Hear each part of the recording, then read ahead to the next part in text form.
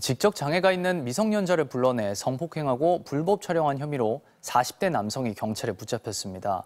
이 남성의 휴대전화엔 성폭행 정황이 담긴 글과 사진이 있었지만 경찰은 이걸 확인하고도 열흘 넘게 휴대전화를 확보하지 않았습니다. 박성화 기자입니다. 포항시 남구의 한 다세대 주택입니다. 지난해 12월 30일 밤 이곳에 혼자 사는 40대 남성이 18살 여학생을 집으로 데려왔습니다. 13km 떨어진 곳에 살던 여학생은 중증 지적 장애를 앓고 있었습니다. 여학생의 가족들은 12월 31일 새벽 딸이 사라진 걸 확인하고 곧바로 경찰에 신고했습니다. 하지만 스마트폰도 꺼져 있었고 행방을 알 수 없었습니다. 그런데 여학생은 나흘째 되는 늦은 밤 집으로 돌아왔습니다. 몸에 보니까 상처가 있잖아요.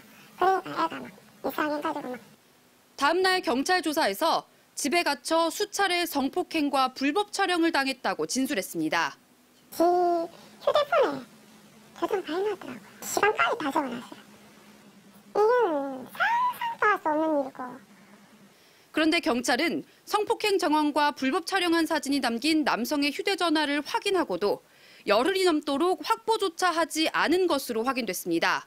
기록을 인수 받아 가지고 네. 예, 확인을 해보니까 이제 카메라를 촬영했다라는 그 내용이 있더라고요. 일단 휴대폰을 이제 저희가 이제 하- 확보를 하려고 하는 그런 상황이거든요. 현재 피해 여학생은 극도의 불안과 우울 증세로 병원에서 치료를 받고 있습니다. 남성은 그대로 집에서 생활하고 있습니다.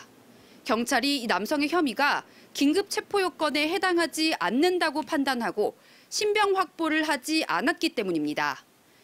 취재진은 이 남성의 집으로 찾아갔습니다. 취재진을 만난 자리에서 남성은 아무렇지 않은 듯 성폭행 혐의를 인정했습니다. 미성년자이고 지적 장애를 앓고 있는 사실도 알고 있었다고 말했습니다. 성폭행은 인정하시는 거고 성관계는 네, 지금 있습니다. 학생이 지적 장애인 건 알고 계셨어요? 어, 네.